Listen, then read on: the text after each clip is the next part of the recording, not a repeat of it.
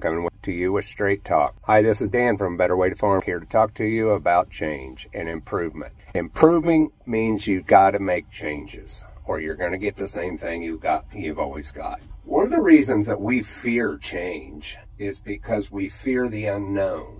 All we want to do is educate you about the future of agriculture. Future of agriculture is most definitely in liquid fertilizer. Put on with the planter in for getting your plant and your root system off to a good start. Now, it's imperative that you do this with knowledge. And we're a company that's in the business of training you. And once you get past the fear of the unknown, it's going to be easy for you to implement change that equals improvement on your farm. We are here to invite you to come to one of our two day Fundamental of Agronomy trainings that is coming to a town near you. We travel all over the Midwest with this two day training. You won't find another agronomic company that does this, that travels all over the country, educating you on how to make educated decision and improvements on your farm.